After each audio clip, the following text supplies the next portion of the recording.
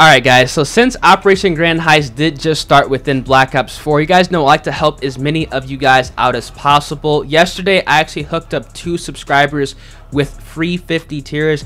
That proof of that is going to be on screen right now and as well as on my Twitter. I'm going to be hooking up two more subscribers next Wednesday, the day after the event does go live on the Xbox. All you have to do to be pretty much entered into this giveaway is to drop a like on the video, comment down below your PSN or Xbox gamer tags, as well as subscribe to the channel and turn post notifications on. I'm going to be picking two random subscribers within the comment section. So when this video gets to 750 likes, I'm going to pick those winners and then announce them next Wednesday, the day after the event goes live on the Xbox because I'm trying to hook as many of you guys out help you guys out as much as possible because within this new tier system there's no way to get reserves after the tiers have been completed and also if you guys do not get the DLC weapons when the tiers you know actually go away before the next operation, you're actually never going to be able to get those weapons. It's going to be like a 0.1% chance, and we all know supply drop luck is absolutely terrible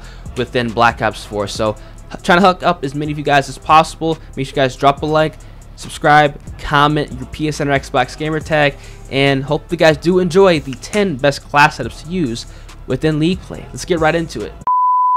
Yo, what's going on YouTube? It is your boy Ears. Hope you guys are having a great rest of your day, start to your day, whatever time it may be. And League Play is finally here within Black Ops 4. So you guys know what that means. I got to drop the 10 best class setups to use when playing League Play. Now, keep in mind, a lot of the public match class setups that you guys run currently within Black Ops 4 are actually restricted within League Play, and that's the exact reason why I'm making this video for you guys. You guys do not go into here blind and load up a game like, oh my god, my class setups actually do not work. They're non-compatible with this game mode. Also keep in mind a lot of the annoying things within multiplayer are actually restricted in league play as well like high caliber 1, high caliber 2, the nomad guard dog, the mesh mine, the ajax riot shield, the 9 bang, all that annoying stuff within multiplayer is actually banned in league play. So i highly recommend you guys checking out this game mode if you guys kind of want to get away from all the annoying nonsense and have a mode where you can test your skills because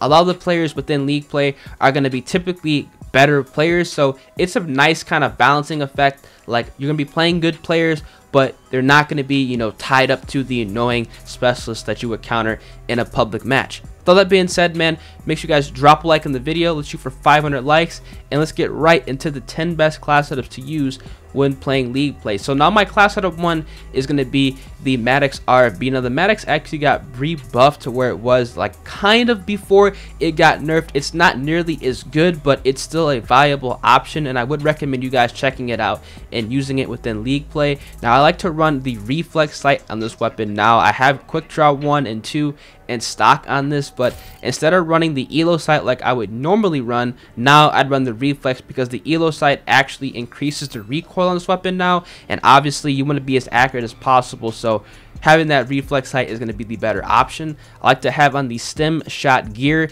I'm running tactical mask dexterity, as well as dead silence. Now, what you guys are going to see immediately is obviously all the perk ones are usable. When you go to the perk 2, you guys can see that Gung Ho is actually restricted to use within League Play. So obviously that next specs option is going to be putting on dexterity. So I highly recommend you guys doing that.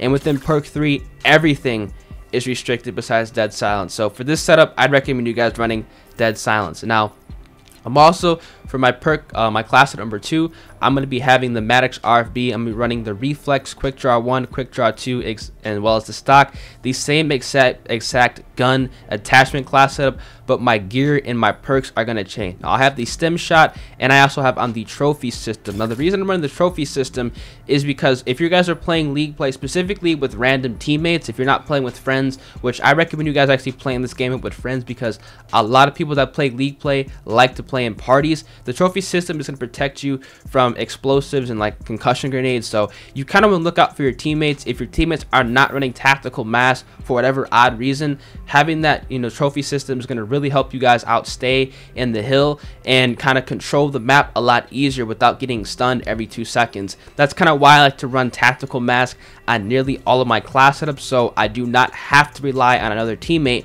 running um, the trophy system if I'm not partied up. And obviously, I have on that dexterity perk because it's very solid. It's really helpful, you know, when winning gunfights, you know, in this game mode. Now, my class setup number three is going to be the same exact weapon and attachment setup, but I actually have on the ComSec device. Now, ComSec is actually, you know, it's not restricted within League play.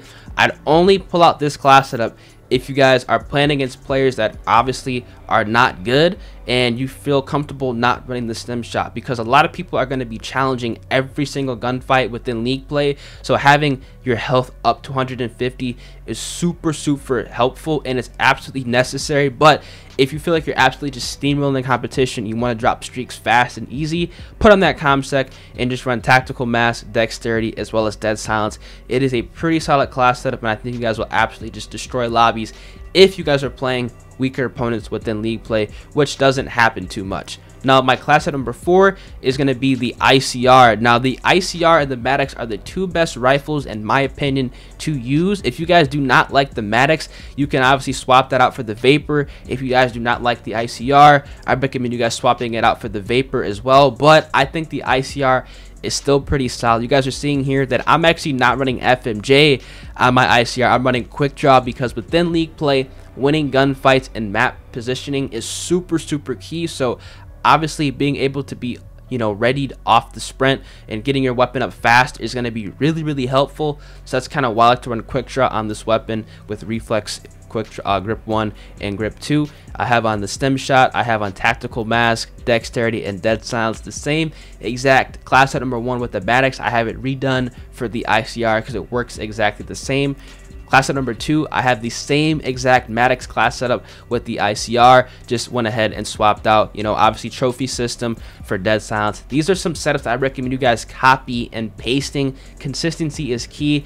You need to be ready for literally anything within league play and obviously protecting your teammates if you guys are playing solo is going to be super super helpful when playing this game mode now class setup number six the same exact comsec device setup uh, with the icr I have on the reflex, grip one, grip two, you know, with quick draw and, you know, comsec, tactical mask, dexterity, as well as dead silence. A lot of these class setups work well in hardpoint. They work well in search and destroy. So I highly recommend you guys checking these out. I think you guys will definitely enjoy these setups. Now, my number seven is going to be my SMG class setup. Now, I like to run the SOG in league play. Now you guys know I don't really run the SOG that much in pubs because it does not have FMJ, but not that many people run um, you know body armor within league play, thank God. So I'm able to run the SOG and feel a lot more comfortable. Now I actually run a four attachment SOG setup. Now you don't really typically see me run four attachment SOG setups.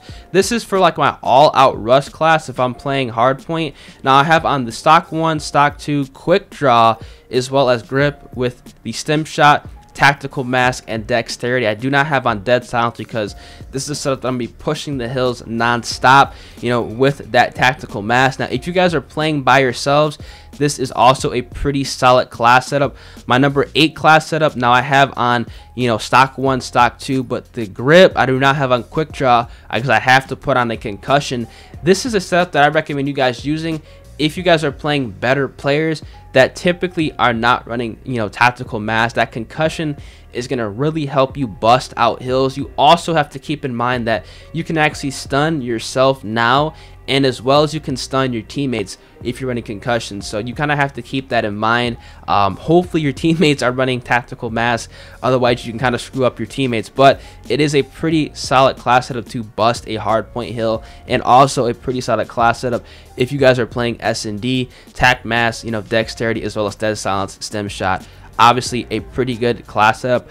Also, I run stim shot on every single subclass setup that I run in this game, especially for league play. Now, another setup is going to be the SOG with stock 1, stock 2, grip. I have the stim shot with the trophy system. Same exact perk setup, tac mask, dexterity is dead silence. Obviously, if your teammates are getting destroyed, they're not really getting in the hills, they're not running tactical mask themselves. I highly recommend you guys going ahead and running the trophy system. It's a pretty solid class setup, and I think you guys will absolutely be able to dominate lobbies with this setup within Black Ops 4. Now, my number 10 is going to be another setup. Now, this setup I have on Flak Jacket. Now, if you guys are getting destroyed, now I mean absolutely destroyed, they're getting streaks, tac uh, flak jacket with tactical mask. This is actually going to protect you from the war machine, the cluster grenade, because those two actually are not restricted within league play, as well as actually going to protect you against the lightning strike and the hellstorm. Um, pretty solid with the SOG, same exact weapon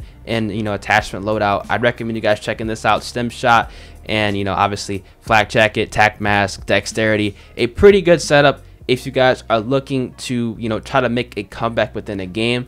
Now my kind of wild card class setups now this is an s&d setup. This is actually a pretty damn good s&d setup. Stock one stock two quick draw grip and i have on Stim shot with lightweight and dead silence. This is so you guys can get around the map a lot faster, get to that power position a lot faster when playing S&D. Having on lightweight within the first couple of hills on hardpoint is actually pretty good too. I know a lot of people do that. They'll have on a lightweight class setup in the beginning to rotate and then kind of switch to a dexterity class setup.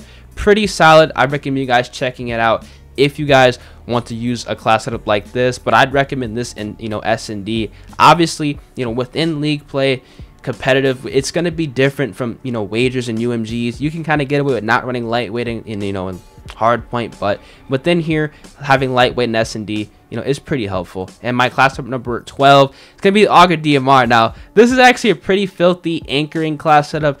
I highly recommend you guys checking this one out. I have the Hellion Salvo on this because if they get streaks, you know, did you have to destroy like a sniper's nest? Having that salvo is going to be super super helpful and i think that this setup is going to help you guys out you know streak up because the auger dmr is um it's pretty good man but a lot of the attachments like high caliber are banned so you know check it out it's pretty good. Now these are the score streaks i like to run within league play. Now you guys can keep in mind that some of the score streaks are actually restricted within league play like the uav so i highly recommend you guys going ahead and running the Lightning Strike, the Drone Squad, as well as the Sniper's Nest. You also can run Lightning Strike, Hellstorm, and the Sniper's Nest, but I feel that Lightning Strike, Drone Squad, Sniper's Nest is going to be really helpful when playing League Play. They kind of chain really, you know, nicely together. They're really easy to get. Once you get that first Lightning Strike, you're going to be easily able to, you know, chain that to the Drone Squad, and then once you get that, it's pretty much a GG and you're going to get that sniper's nest pretty easily. And once you get these streaks up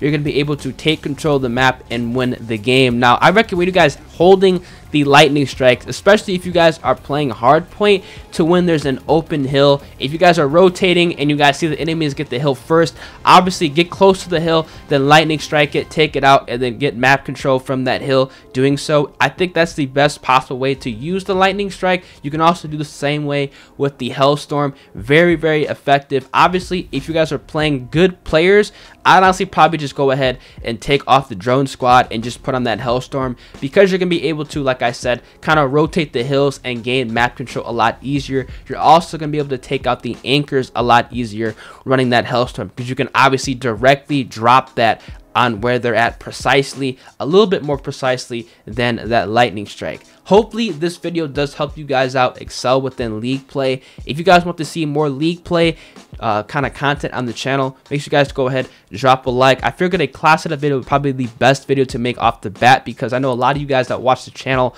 watch me for public match gameplay and are probably going to be unaware to what to run within league play considering the fact that a lot of the class setups that you guys probably use and I also use are restricted but I feel like you guys will be just fine playing league play because like I said earlier a lot of the nonsense specialist attachments and playstyles are going to be like pretty much you know null and effective ineffective within league play. Hope you guys did enjoy man. It's been your boy ears. Make sure you guys go ahead drop a like comment subscribe turn those post notifications on and without further ado you know hope you guys enjoyed the video. Get in the league play rip it up i'm gonna catch you guys in the next one. Deuces